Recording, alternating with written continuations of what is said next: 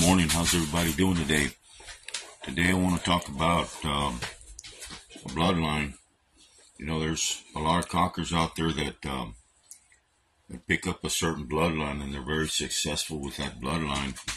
So they start making offspring, and uh, let's say five years down the road, uh, their rooster starts to get older, their brood cock or their brood hen, or maybe they lose them.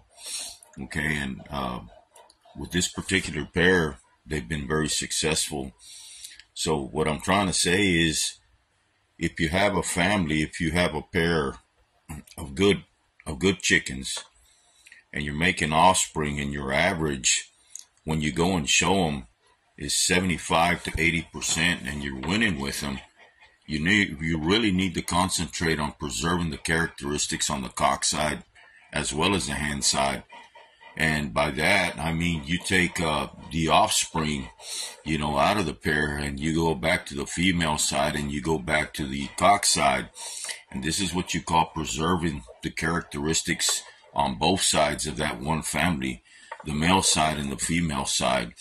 If you continue to um, make offspring and never uh, preserve the characteristics on the cock side, your brood cock, or, or the hen side, your brood hen, well, then once you lose those individuals, you're never going to get that 75 or 80, 80% winning average because you have already lost a very important individual by losing the characteristics on, like I said, the cock side or the hen side.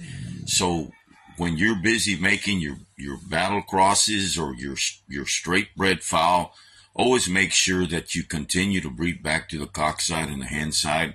That way you know that when they get old, you have replacements that carry on their characteristics, you know, and once again, like I said, not every rooster, not every hen out there is able to pass their good characteristics to their offspring. So when you find a pair that does, you need to make sure that you go back to the, the hen side and the cock side. This is just something I wanted to share with everybody out here today. And I want to thank all my YouTubers and all my TikTokers for following on my channel.